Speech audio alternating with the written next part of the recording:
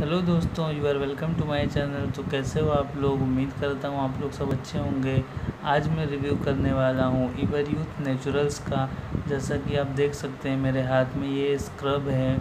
तो आप यहाँ पर देख सकते हैं वॉलनट यानी कि अखरोट वेरिएंट है इसका। आप देख सकते हैं यहाँ पर लिखा है exfoliating walnut scrub remove blackheads and dead skin cells जैसा कि किसी की स्किन में टैन आ जाता है या फिर स्किन धूप में थोड़ी जल जाती है या डस्ट वगैरह हो जाते हैं तो आपको आपका फेस, आपकी स्किन स्क्रब कर लेना चाहिए। स्क्रब करने से आपकी स्किन पे जो भी डेड सेल्स होते हैं, वो ख़त्म हो जाते हैं और आपकी स्किन थोड़ा ग्लो करने लगती है, जो भी टैनिंग वगैरह हो जाती है।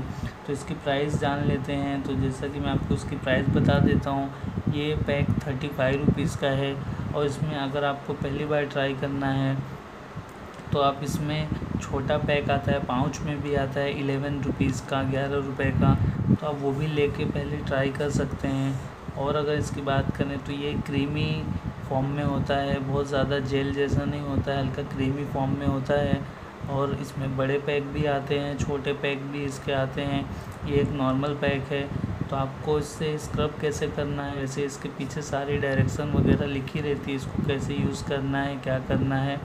लेकिन मैं आप लोगों को बता देता हूँ, इसको नॉर्मली आपको पहले अपना फेस गीला कर लेना है, उसके बाद स्क्रब जेल आपको निकालना है। स्क्रब जेल आपको निकाल कर अपने फेस पर अच्छी तरह से जहाँ पर भी आपकी डेड सेल्स हो स्किन काली पड़ गई हो, या फिर टैनिंग वगैरह हो, या फिर जहाँ पर ब्लैक हेड्स वाइट हेड्स हो, वहाँ पर आपको अच्छी तरह से इसे मसाज करना है। दो से तीन मिनट तक आपको अपने फेस को मसाज करना है।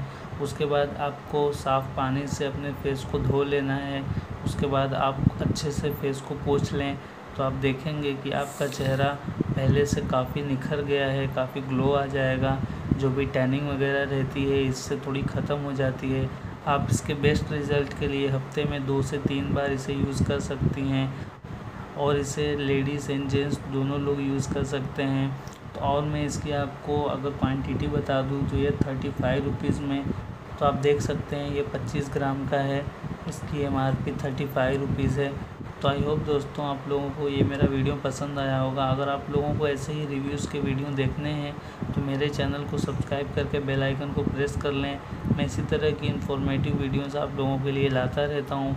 फिर मिलेंगे एक नए वीडियो के साथ। तब तक के लिए आप अपना ध्यान रखें। Thank you